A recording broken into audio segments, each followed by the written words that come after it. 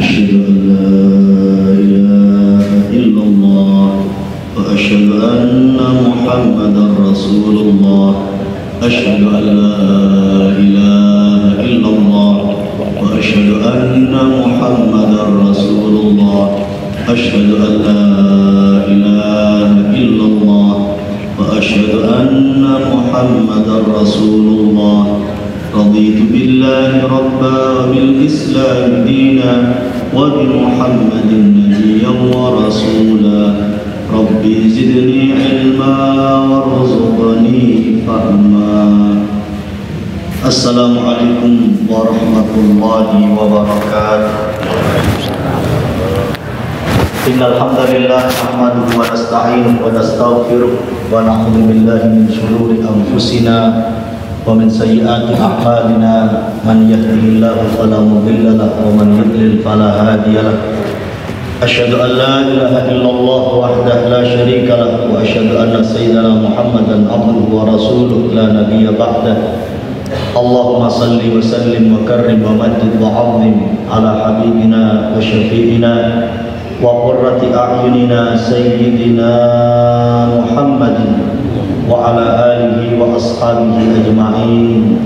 وعلى آله وصحبه أجمعين أما بعد Hingga pula muliakan para alim ulama, para tokoh masyarakat, para pengurus takmir dan seluruh jamaah Masjid Agung Jamek Kota Malang serta kaum muslimin dan muslimat dimanapun berada baik pemirsa Madinah TV, pendengar Madinah FM yang semoga kita semua senantiasa dikaruniai Allah hidayah petunjuk taufik diberi kekuatan kesehatan lahir batin mendapatkan bimbingan dan senantiasa diberi kesehatan lahir batin ditakdir oleh Allah sebagai orang-orang yang selamat dunia akhirat bahagia fid dini wad dunya wal akhirah. Amin ya rabbal alamin. Bapak Ibu sekalian kita melanjutkan kitab Risalatu Ahli Sunnah wal Jamaah masih tentang tanda-tanda besar hari kiamat yakni pembahasan sebelumnya tentang Dajjal dan bagaimana kondisi ketika Allah menurunkan Nabi Isa alaihissalam untuk mengalahkan Dajjal ini bersama Imam Mahdi. Ila hadratin Nabi Muhammad sallallahu alaihi wasallam wa ila jami ashabi wa azwaji wa dhurriyyati ومن تبعهم بإحسان إلى يوم الدين وإلى أرواح الأولياء والشهداء والصالحين وإلى أرواح أئمة أهل السنة والجماعة وإلى أرواح أئمة وإلى أرواح أئمة المتاهي الأربعة مقلدين أجمعين وإلى أرواح أئمة الصوفية وإلى أرواح سادة العالمين خصوصا الإمام المهاجر الله أحمد بن عيسى وسيد المقدم محمد بن علي وعلم. وأصولهما وفروعهم وجامع أهل الزنبل والفرات والأقدر وإلى أرواح الأولياء التسعة ولصاهم وجميع الدعاة الذين نشروا هذا الدين في هذا البلاد وإلى أرواح مؤسس جمعية نهضة العلماء وعلمائها ومشايخها وأعيانها وإلى أرواح مشايخنا وأساتذتنا خصوصا المرحوم المغفور له كي محمد باصر ألبي مرتضى وأصوله وفروعهم وإلى أرواح أمواتنا ووالدينا Monggo kasebat asmo tiang sepah kalih dan keluarga kita yang telah mendahului kita semuanya.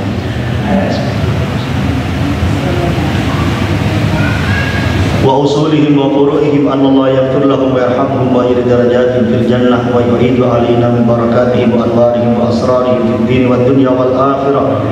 ونستحضر أرواحهم الطاهرة الزكية في هذا المسجد المبارك وفي هذا المجلس المبارك وأن الله يفقهنا في الدين ويعلمنا التأويل. ويهدينا إلى سواء السبيل ويفيض على قلوبنا ما أفاضه على قلوب عباده الصالحين وأن الله يرحم العباد والبلاد وإلى حضرة النبي محمد صلى الله عليه وسلم. الفاتحة. أعوذ بالله من الشيطان الرجيم. بسم الله الرحمن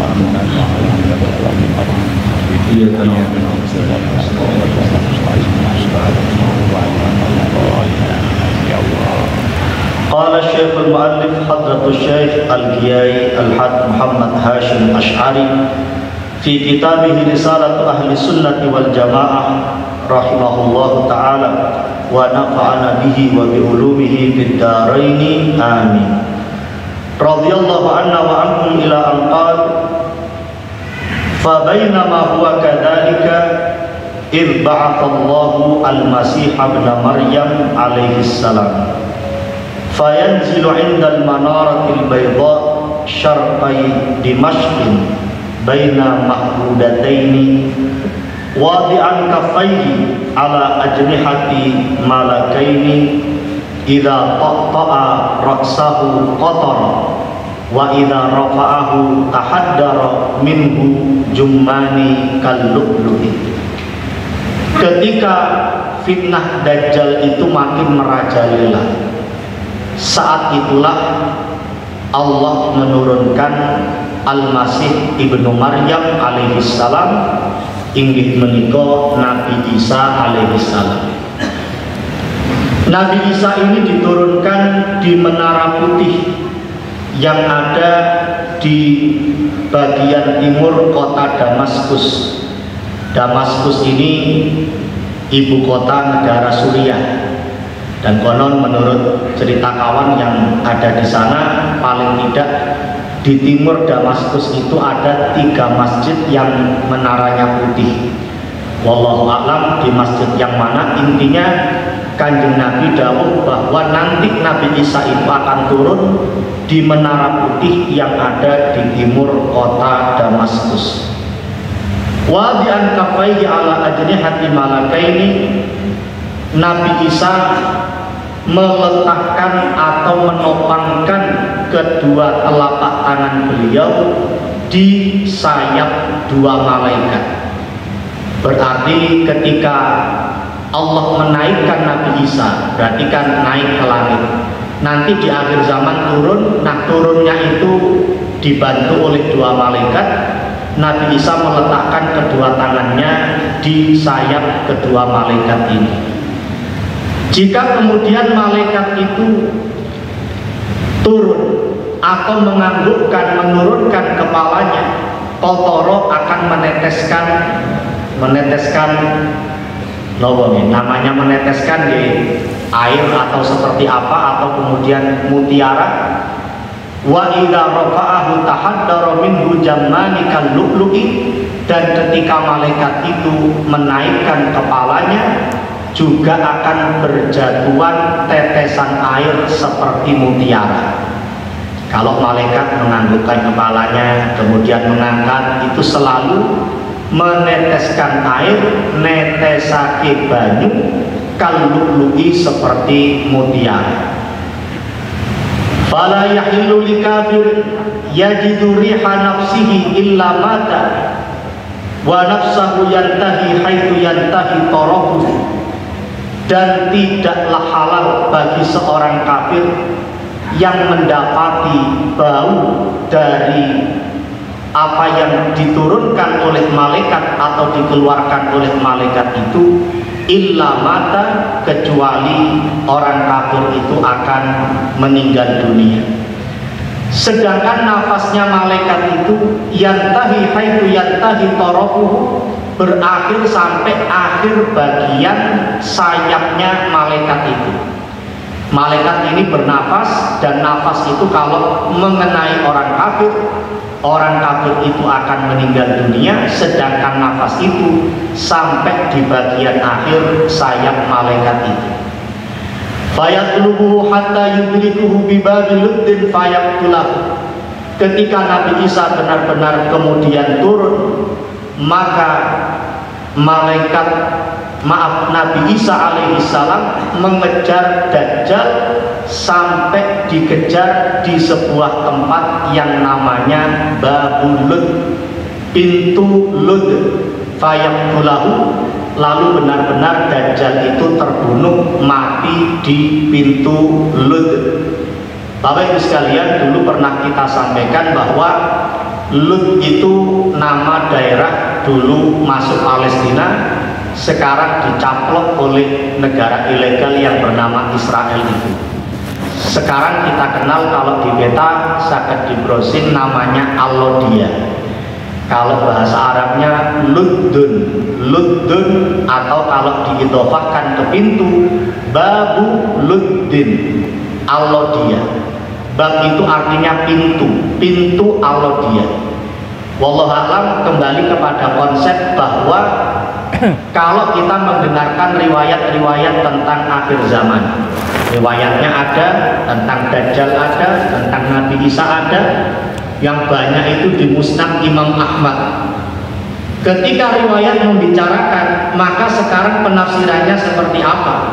Penafsirannya itu bisa saja sesuatu yang pasti tapi bisa saja sesuatu yang bersifat goni atau teoritis. Teoritis itu iso ini tapi yo iso gak ngono misalnya ketika ditafsirkan pintu alodia ini pintu alodia. Dulu pernah kita sampaikan kalau zaman dulu kota itu ada pintunya. Kota-kota lama yang ada di Arab sampai sekarang tasik wonten lawangi misalnya ten Son'a Son'a al-Qadimah ibu kota Yaman.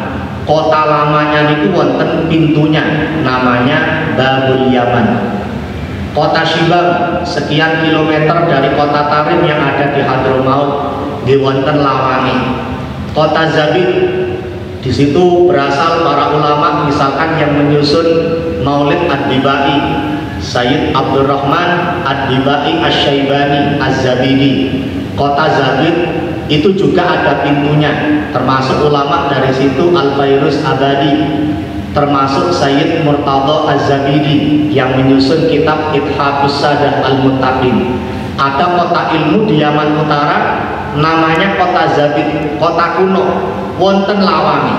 Intinya kota-kota lama di zaman dulu itu ada pintunya.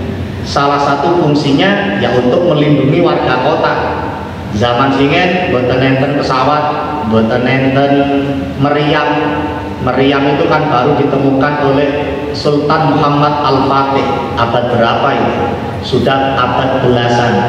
Nah zaman-zaman singen untuk melindungi warga ya cukup dengan pagar dengan benteng. Mantungan dan keluar masuknya warga kota itu ya lewat pintu itu lewat pintu itu. Sama ketika Mehmed II atau Sultan Muhammad Al-Fatih menaklukkan Konstantinopel saat itu Konstantinopel juga dikelilingi pagar yang ada pintunya.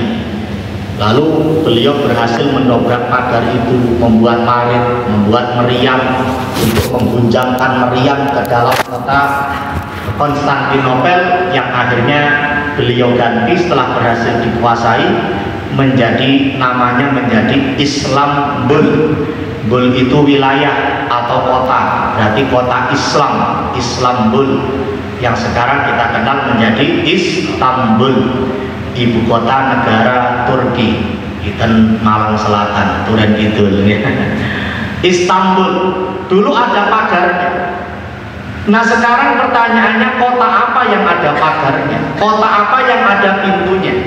Ketika Nabi Muhammad sekian abad yang lalu mengatakan Dajjal itu akan terbunuh di pintu Al-Lodia Maksudnya pintu kota sekarang ini apa? Akhirnya secara teoritis, secara doni, sakit ngoten, sakit ngoten-ngoten Ditafsirkan oleh para ulama kontemporer Maksud dari pintu Al-Lodia adalah bandar udara Al-Lodia karena bandar udara itu ya tempat keluar masuknya orang kalau mau masuk ke kota itu. Dan ternyata di antara bandara terbesar di Israel dalam tanda kutip adalah bandar udara Al-Lodia ini. Bapak Ibu sekalian Wallahu a'lam apakah benar kemudian nanti Dajjal itu akan meninggal dunia di bandar udara Al-Lodia yang sekarang dikuasai Israel itu tapi yang jelas intinya dalam riwayatnya di sini fayaqlubuhu hatta yudrikahu bibabiluddin fayaqtulahu Nabi Isa terus mengejar Dajjal sampai kemudian beliau benar-benar mendapati Dajjal itu menyekel memegang Dajjal itu di bandar udara maaf di pintu Alodia dan benar-benar Dajjal terbunuh di situ. Ada satu keterangan bahwa sebenarnya Dajjal itu sudah tertusuk panahnya Nabi Isa di luar masjid yang bermenara putih itu. Jadi Nabi Isa sholat subuh bersama Imam Mahdi bersama umat Islam saat itu Dajjal sudah nunggu di luar bukan sakit melebet dan masjid Akhirnya terjadi perang di luar masjid yang ada menara putihnya itu sudah tertusuk Dajjal itu, sudah terluka. Tapi kemudian dia lari dikejar Nabi Isa dan matinya atau meregang nyawanya di Babulud di pintu Al-Lodiyah. Thumma ya'ti Isa ibnu Maryam ila qaumin qad asamahumullahu minhum famasaha an wujuhihim wa bidarajatihim setelah Dajjal benar-benar terbunuh Nabi Isa kemudian mendatangi sekelompok manusia yang dijaga oleh Allah dari fitnah Dajjal. Fitnah Dajjal sebelumnya merajalela Tapi ada sekelompok manusia yang mendapatkan ismah penjagaan dari Allah Subhanahu wa taala didatangi oleh Nabi Isa famasaha wujuhihim. Lalu Nabi Isa mengusap wajah mereka. Wa yuhaddithuhum Nabi Isa memberitakan kepada mereka bidarajatihim fil jannah tentang kedudukan mereka di surga. Fa bainama huwa kadzalika id awhallahu ila Isa alaihi salam anni qad akhrajtu ibadan li la yadani li ahadin bi qitalihim faharraz faharriz ibadi ila ketika Nabi Isa mengusap wajah orang-orang yang dijaga oleh Allah dan Nabi Isa memberitahu mereka tentang kedudukan atau derajat mereka di surga. Dalam riwayat surga itu tingkatannya disebut darajat.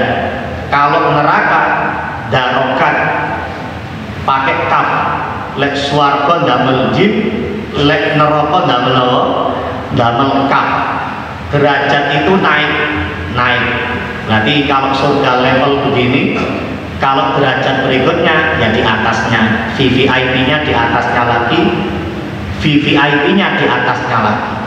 Kalau tingkatan-tingkatan neraka jangan dibayangkan darajat naik ke atas tapi darokat ke bawah jadi level 1, level 2, level 3, level 4, level 5, level 6, level 7 7 liang neraka liang neraka. Jadi neraka itu kalau dibicarakan level levelnya bukan munggah itu tapi liang ke bawah.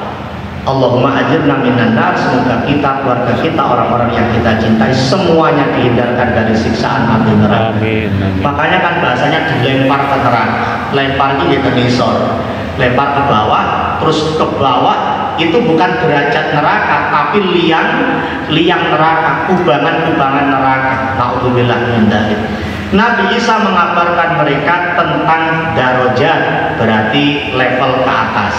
Derajat Anda VIP, VVIP, VVIP bagaimana itu dikabarkan oleh Nabi Isa kepada sekelompok manusia ini saat Nabi Isa bertemu dengan orang-orang yang mendapatkan ismah penjagaan itu Allah memberikan wahyu kepada Nabi Isa alaihissalam anni qad akhrajtu ibadan li la yadani li ahadin biqitalihim faharriz ibadi ila Wahai Isa, sesungguhnya aku telah mengeluarkan sekelompok hambaku yang mereka tidak ada kuasa bagi seorang pun untuk memerangi hamba-hambaku itu maka bawalah hambaku ke Tur.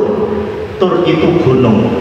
Isa sudah aku tentukan sebagian hambaku tidak ada yang celaka.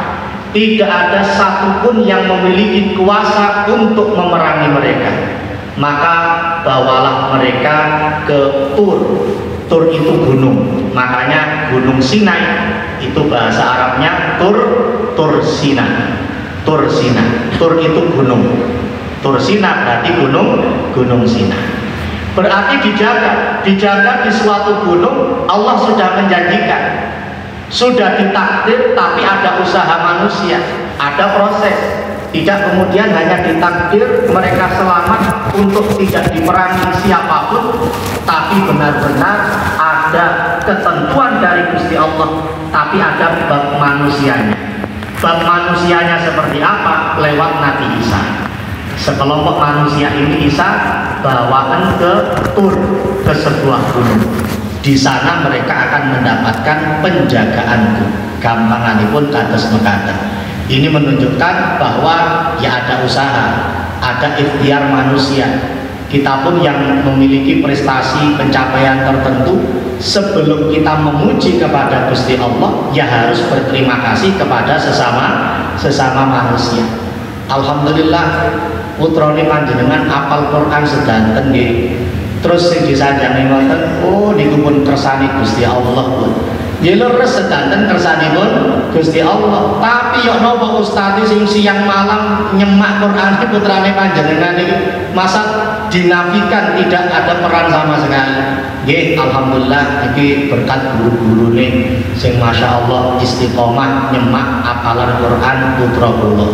Malam yashkurin nas lam yashkurillah. Berterima kasih dulu kepada manusia kemudian memuji kepada Gusti Gusti Allah.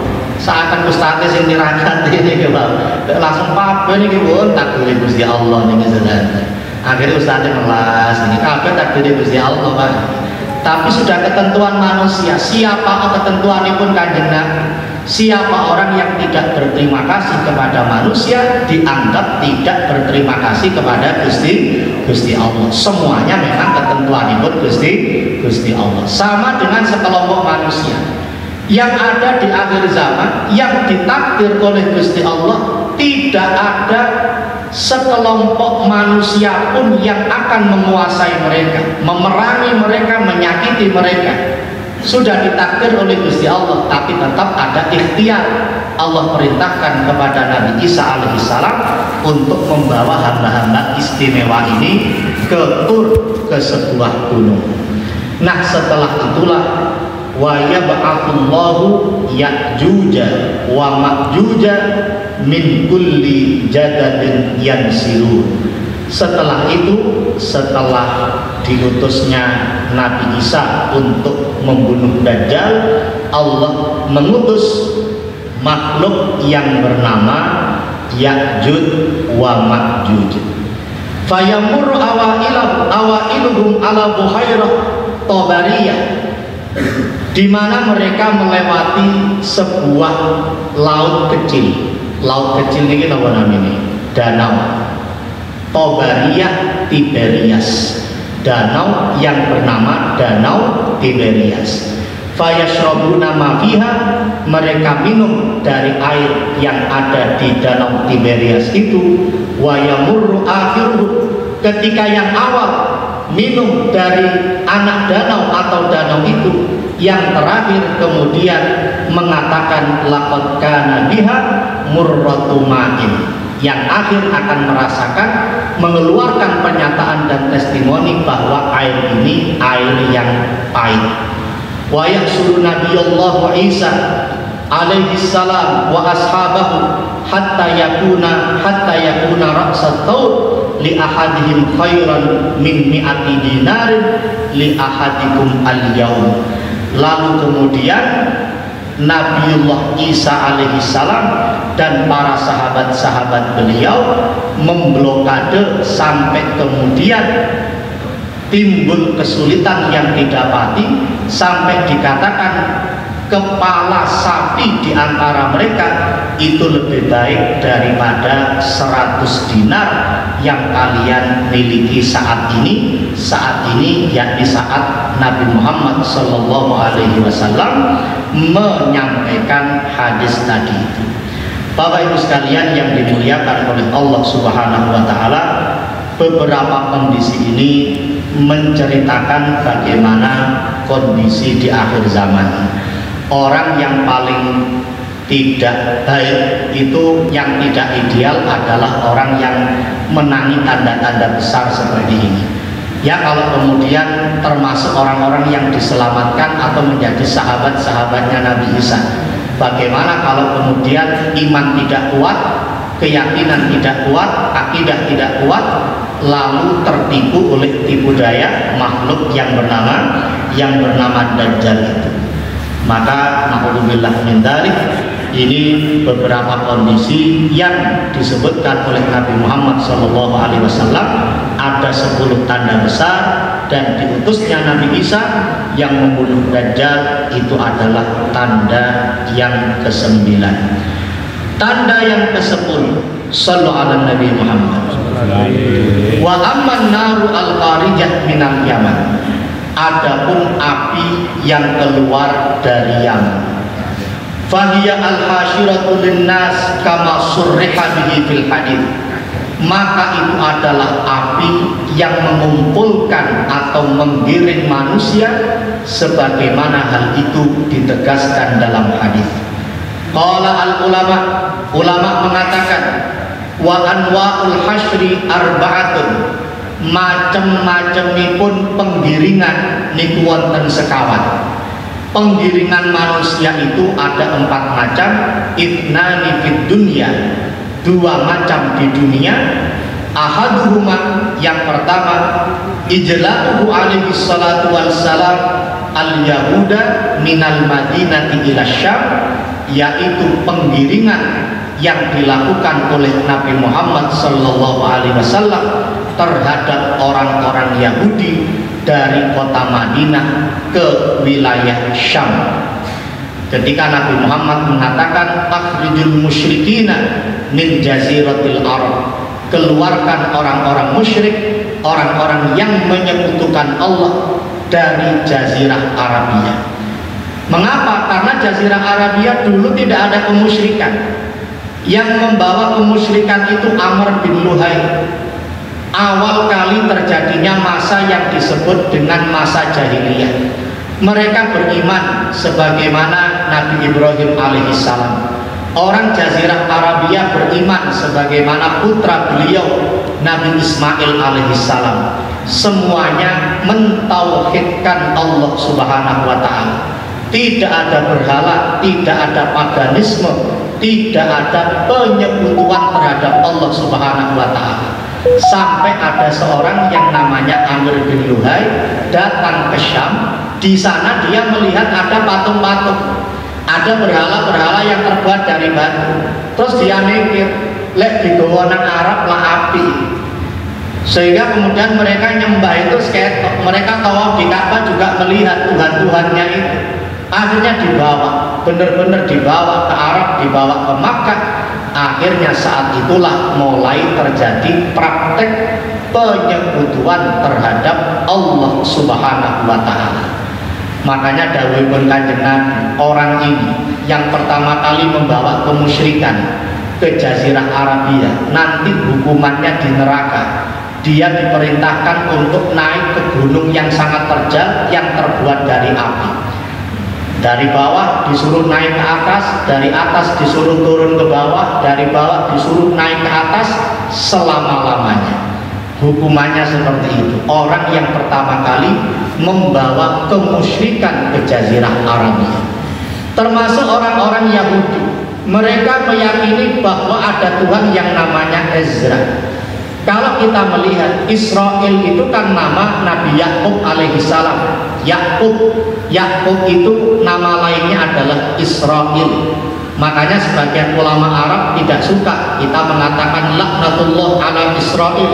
Semoga Allah melaknat Israel karena Israel itu nama lain dari Nabi Yakub. Seakan-akan kita mendoakan semoga Allah melaknat Nabi Yakub.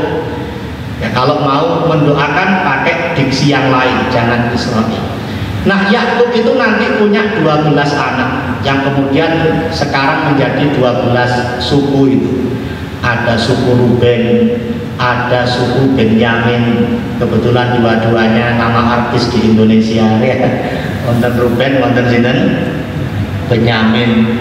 Wonten suku Yehuda Nah suku Yehuda ini suku yang paling banyak nabinya Tapi sekaligus suku yang paling banyak membunuh nabi ya suku Yehuda ini Suku yang banyak nabinya Tapi juga mereka membunuh para nabinya itu Makanya ketika mereka mendirikan negara, atau ingin negaranya namanya Israel, agamanya agama agama Yahudi dari kata Yehuda itu.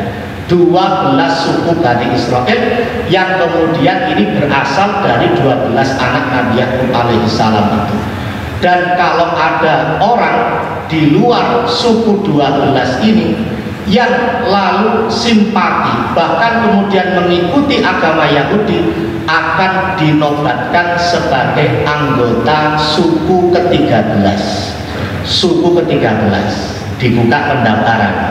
Suku ke-13 itu nanti teng Indonesia ternyata di London di Indonesia ada yang bangga dengan suku ketiga dan saat ini ketika ada perang Hamas dengan Israel itu mereka ternyata ya banyak yang mendoakan Palestina, banyak yang mendoakan Hamas, tapi juga banyak juga yang mendukung Israel.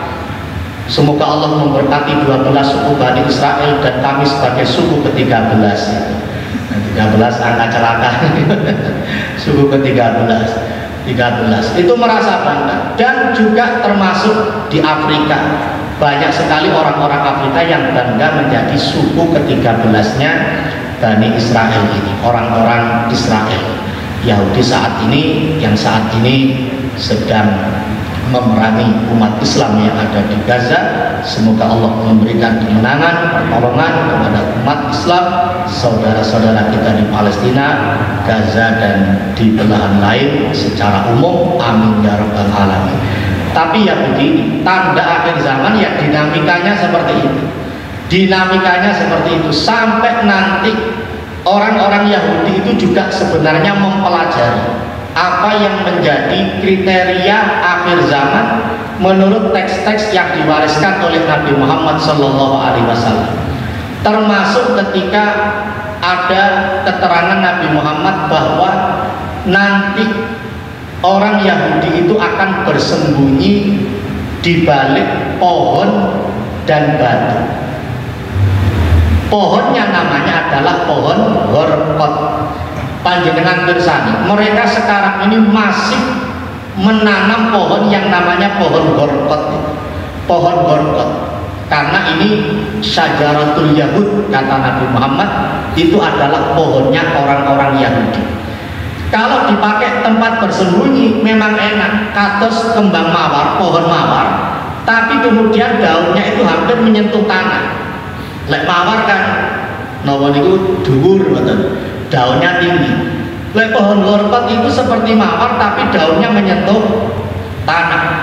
Itu bisa ideal sekali kalau dipakai untuk tempat bersembunyi. Dan nanti di akhir zaman batu dan pohon ini akan batu dan pohon akan mengatakan kepada satu mukmin yang kedua Abdullah. Ini loh ada orang Yahudi faktuluh maka bunuhlah dia illa gharqat kecuali pohon gharqat li'annaha syajaratul yahud karena gharqat ini adalah uh, pohonnya orang Yahudi. Hanya pohon gharqat yang tidak mau bicara tidak mau mengungkap bahwa ada orang Yahudi yang bersembunyi di situ Nah pertanyaannya apakah batu dan pohon bisa bicara? Ya kalau sesuai hadis Nabi itu bisa bicara Cuma yang diajak bicara siapa? Ternyata panggilannya hanya dua, ya mukmin ya Abdullah. Wahai orang beriman, wahai hamba Allah.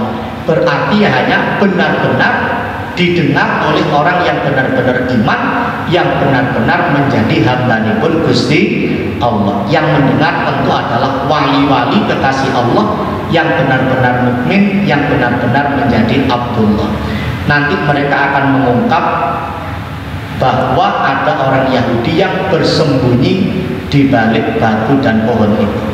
Bapak Ibu sekalian, sejarah Yahudi itu memang tidak akan lepas dari dari batu.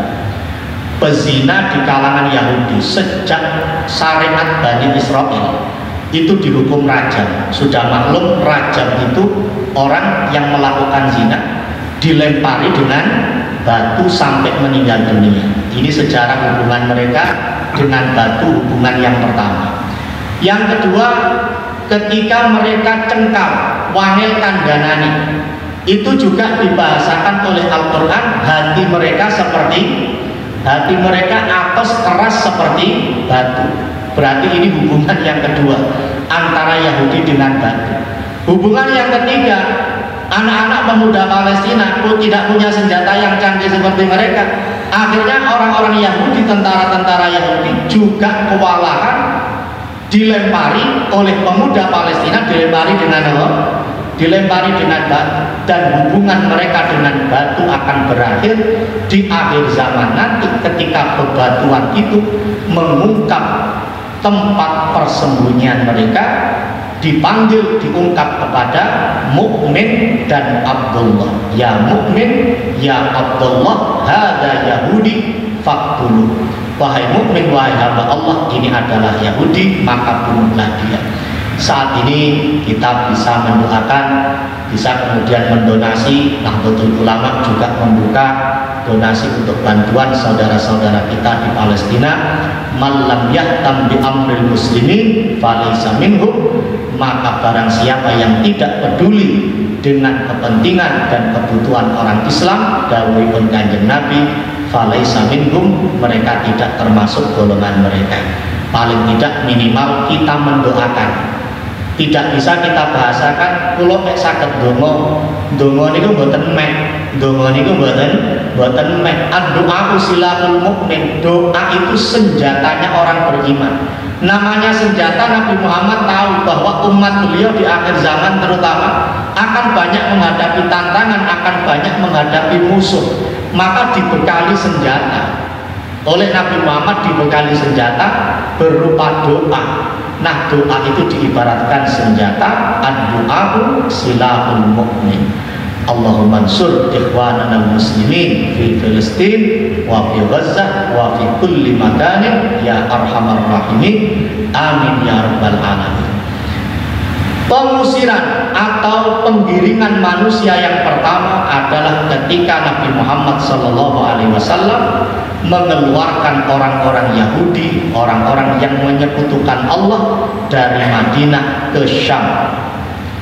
Watanihima sukun nar urba qiyamis sa'ah ilal mahsyar. An-nas wa ghairahum min kulli hayyin qabla nafhatil ula. Penggiringan itu ada dua. Yang pertama tadi sudah kita sampaikan teksnya. Penggiringan yang kedua adalah penggiringan oleh api di saat mendekati hari kiamat ke sebuah tempat yang digiring adalah manusia dan selain manusia makhluk hidup sebelum ditiupnya. An-nafqatul ula sangkakala atau tiupan yang pertama. Ini tiupan pemaaf penggiringan yang kedua yang masih terjadi di dunia yaitu hurujun nar min qa'ri aden keluarnya api dari kawah aden lalu mengeluarkan asap asapnya menggiring manusia ke suatu tempat. Ternyata yang digiring tidak hanya manusia tapi setiap makhluk hidup yang ada. Wahabullah nas ahyaul kufar. Yang digiring itu adalah orang-orang kafir yang masih hidup. Wa ammal mukmin adapun orang yang beriman fayamutuna qabla dzalika birihin layyinatin maka Allah telah mewafatkan mereka melalui angin yang sangat lembut. Masih di dunia, penggiringan yang kedua terjadi orang kafir yang digiring sedangkan orang mukmin sudah diwafatkan oleh Allah melalui angin yang lembut wasnani fil akhirah ahaduhuma jam'uhu ilal mawqif ba'da ihyaihim wasani sarfuhum minal mawqif ilal jannati adapun penggiringan manusia yang ada di akhirat ada dua yang pertama adalah ketika manusia dikumpulkan di suatu tempat setelah mereka dihidupkan kembali oleh Allah Subhanahu wa taala. Ini menikah di padang mahsyar, ini penggiringan yang kedua, penggiringan yang pertama di akhirat dan penggiringan yang kedua watani sarfuhum minal mauqif ilal jannati wan nar penggiringan mereka dari padang mahsyar itu untuk digiring satu kelompok ke surga, satu kelompok ke neraka. Allahumma ja'alna min ahli jannah. Semoga kita dinakdir keluarga kita dan kawan kita, orang-orang yang kita cintai, termasuk orang yang dibawa oleh Allah menuju surganya yang penuh dengan kenikmatan. Amin ya rabbal alamin. Bapak Ibu sekalian, itulah 10 kejadian tanda besar kiamat sebelum kita berikutnya memasuki pasal baru tentang kondisi bagaimana ketika manusia menghadapi kiamat kecil yakni kematian. Kita tidak menangi kiamat besar tapi yang pasti kita semua akan mendapati kiamat kecil. Tidak lain dan tidak bukan adalah kematian. Bagaimana kondisi setelah kewafatan? Dirilis beberapa riwayat oleh Hadratul Syekh Haji Muhammad Hashim Ash'ari. Dan ini termasuk bagian poin yang juga harus kita imani Mungkin-mungkin terus sehat walafiat, istiqomah mengaji, istiqomah mendapatkan peringatan-peringatan dari para ulama kita sehingga kita tidak menjadi orang yang lalai, tidak menjadi orang yang abai, sebaliknya kita selalu istiqomah, selalu berada dalam keimanan dan keyakinan terhadap apa yang dijelaskan dalam Al-Quran dan Sunnah kanjeng Nabi Muhammad Sallallahu Alaihi Wasallam. Amin ya rabbal alamin. Alhamdulillahirabbil alamin wassalatu wassalamu ala sayyidina Muhammadin wa ala alihi wa sahbihi ajma'in. Allahumma ballighna ziyarata Makkah wal Madinah. Allahumma taqabbal minna salatana wa tawafana wa sa'yana wa umratana. Allahumma ja'al dhanbana dhanban maghfura wa sa'yana sa'yan mashkura wa tijaratana tijaratan lan tabura bi rahmatika ya arhamar rahimin. Allahumma ighfir lana wa liwalidina warhamhum kama rabbawna shighara. Rabbana hab lana min azwajina وذريتنا قرة أعين واجعلنا للمتقين إماما ربنا آتنا في الدنيا حسنة وفي الآخرة حسنة وقنا عذاب النار جزا الله عنا سيدنا محمد صلى الله عليه وسلم وما هو أهله وصلى الله على سيدنا محمد وعلى آله وصحبه وسلم سبحانك اللهم وبحمدك أشهد أن لا إله إلا أنت أستغفرك وأتوب إليك. ربنا تقبل منا واقبلنا بسر الفاتحة. بالله الله الرحمن الرحيم. والله الوافق إلى الطريق السلام عليكم ورحمة الله وبركاته. وعليكم السلام.